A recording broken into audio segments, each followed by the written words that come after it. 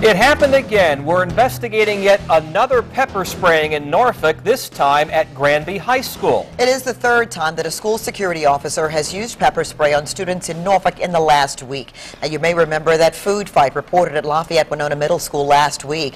37 students were sprayed in that fight. And just Monday, a security guard at Blair Middle School sprayed three students while trying to break up a fight there. Then your side's Ann McNamara is here with some hard numbers and and a question, how common is this in Norfolk? Well, Tom, the superintendent tells me there were 36 pepper spray incidents in the last three school years and only three this year. The thing is, though, those three incidents happened over a span of just eight days, and now all this attention has the school board considering to maybe reconsider using pepper spray on students.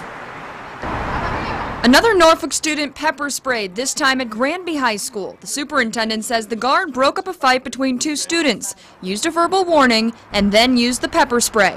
School officials say one male student repeatedly hit the guard.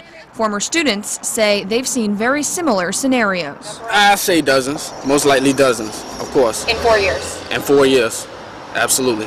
And they know when to get out of the way. If the pepper spray comes out, you're going to get hit because they don't necessarily target one group. They just walk in spraying into the group and get to the fight as fast as they can to break it up. But Granby isn't the only school where it happened. In the last eight days, reports of 37 students sprayed at Lafayette Winona Middle School and three sprayed at Blair Middle School. It's like all of a sudden we got a little frequency of things happening.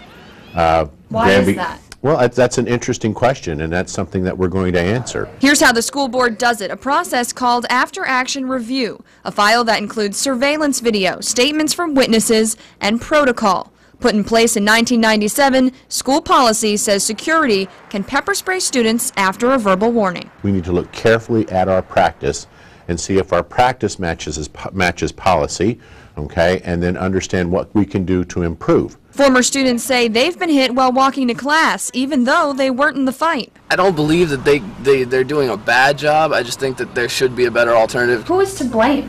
Who well, has a, a tougher time? And that's a great question, okay? And I think one of the things we live in is this world of blame. Okay, so there's lots of blame and there's lots of credit to go around. The superintendent says some options are putting more resource officers in the schools and eliminating pepper spray altogether. What are they supposed to do? Dr. Bentley says there are security cameras in Granby High School, but he does not know if those cameras captured this particular fight because it was so close to a classroom. Now, Norfolk Public Schools denied 10 on your side's request for video from the Lafayette Winona Middle School food fight. They cited student and personnel records. Tom? And we do know that Norfolk City Council talked about this issue earlier this week, and now the school board will most likely be taking it up. There is a meeting scheduled for November 16th. It's likely to review the pepper spray policy, and it should be on the agenda.